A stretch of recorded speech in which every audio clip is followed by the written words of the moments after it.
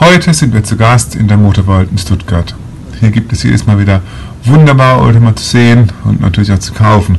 Unter anderem hat hier Arthur Bechtel seine Verkaufsräume.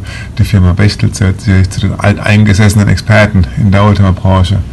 Gerade erst kürzlich haben wir auf belmont.de ein Interview mit Tim Bechtel, dem Sohn von Arthur Bechtel, veröffentlicht. Wir haben dieses Mal hier in Stuttgart einen Workshop zum Thema Lackpflege und Lackaufbereitung besucht. Die Firma CT Pro hat sich mit der Marke Globo Autokosmetik den Themen Reinigung, Schutz und Pflege von klassischen Fahrzeugen und hochwertigen Sportwagen verschrieben. So verwundert es wenig, dass uns der Workshop heute direkt in die Motorworld hier nach Böblingen führt. Die Globo Lounge steht heute im Mittelpunkt und damit auch ein kleiner roter 2 Liter Alpha Spider von 1988, der als Anschauungsobjekt, als Testobjekt dienen soll. Doch so weit sind wir noch gar nicht. Nach der Begrüßung der Teilnehmer geht es natürlich nicht gleich an die Poliermaschine. Zunächst gibt es entsprechende Theorie für alle Teilnehmer. Dass die Theorie nicht immer grau sein muss, zeigt dieser Vortrag. Anhand von diversen Fotos und Grafiken wird dem Teilnehmer die Funktion des Lackes und auch dessen Aufbau erklärt und gezeigt. Auf einen mehrstufigen Lackaufbau von Grundierungen und gegebenenfalls auch Filler kommt der Decklack. Bei modernen Fahrzeugen in der Regel generell mit einem Klarlack geschützt. Bei unseren Klassikern, die vor 30 Jahren oder noch früher auf den Markt kamen, war das natürlich höchstens bei Metallic, aber nicht bei den Unilacken der Fall.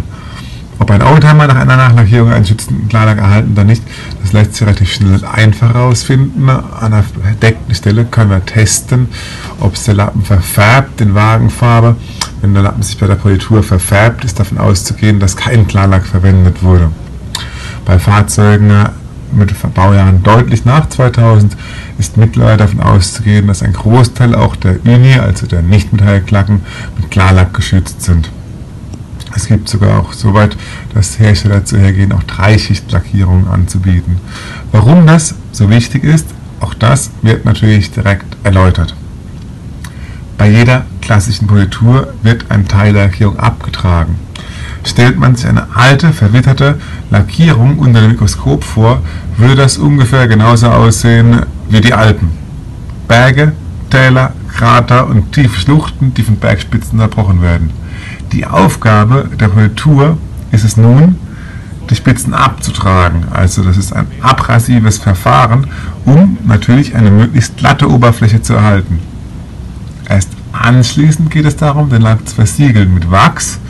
Das heißt, die Poren und die verbleibenden Täler so weit aufzufüllen, dass der Lack seine schützende Wirkung voll entfalten kann und gleichzeitig auch einen schönen und brillanten Glanz aufweist. Im Umkehrschluss eine Politur, die gleichzeitig konserviert oder eine Konservierung mit einem Polituranteil, ist beim Mattenlack immer die zweite Wahl, weil sie zwei Arbeitsgänge in einem ausführt. Deswegen wird das auch mal auf dem Kofferraumdeckel des roten Alphas hier demonstriert, warum eine Aufbereitung nicht gleich eine Aufbereitung ist. Bei vielen Sonderangeboten nach dem Motto, wir bringen Ihr Auto für 79 Euro auf Hochglanz, wird nämlich mit silikonhaltigen Versiegelungen gearbeitet. Das sieht auf den ersten Blick toll aus, hält aber oft nur bis zur ersten Waschstraße. Auch wenn wir unsere Oldtimer natürlich nicht durch die Waschstraße jagen, die erste Wahl ist das definitiv nicht. Voraussetzung, wie bei dem roten Alpha, der bei unserem Beispiel hier noch größtenteils im Originallack erhalten ist, ist ganz wichtig, wir müssen zuvor eine Schichtigmessung durchführen. Nur wenn genügend Lackschicht noch vorhanden ist, ist gewährleistet, dass der Lack nicht durchpoliert wird. Originale Lackschichten liegen je nach Karosseriebauteil und Hersteller zwischen 80 und 120 mm.